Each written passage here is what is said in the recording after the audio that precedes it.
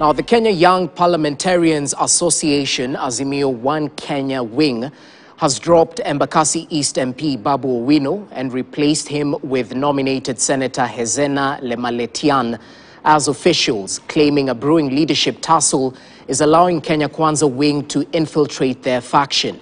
An emergency meeting held last night in Karen at the residence of Saboti Member of Parliament Caleb Amisi and attended by 15 members of parliament, including Deputy Minority Whip in the National Assembly Mark Mwenje, picked nominated MP Irene Mayaka as Secretary General and Kitui Women Rep Irene Kasalu as the Treasurer.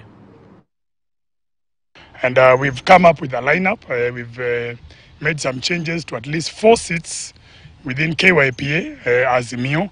And the way KYPA is set up is that uh, we have seats that belong to Kenya Kwanza, there are seats that belong to Azimio. So the first seat, Secretary General, will have the Honorable Irene Mayaka here, who is uh, nominated, uh, ODM. She'll be our new Secretary General. We have uh, the Treasurer seat, the Honorable Irene Kasalu, who's uh, our member here from uh, Kitui, uh, women rep, uh, and that is uh, from Wiper. We have also the Honorable Fatuma Jeho, who is the Wajir women rep, shall be the new vice chair of KYPA.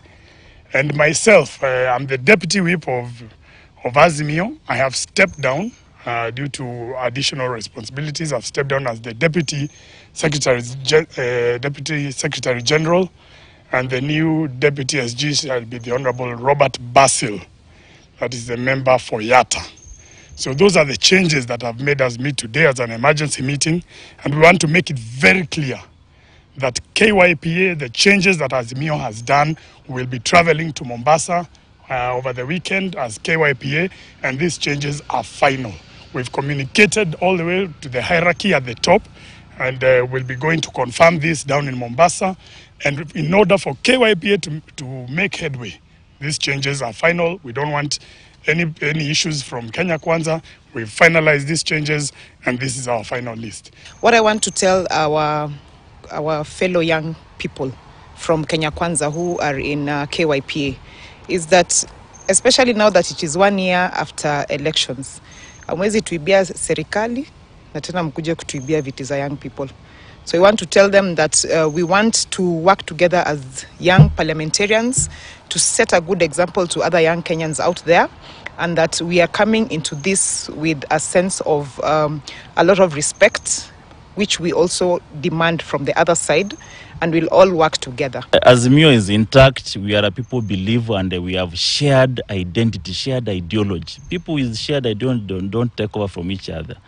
There are only people a confused lot like Kenya Kwanza that uh, people uh, uh, take over from them. And uh, probably if it is a takeover, yes, the Azimio young tax are coming to take over from Kenya Kwanza.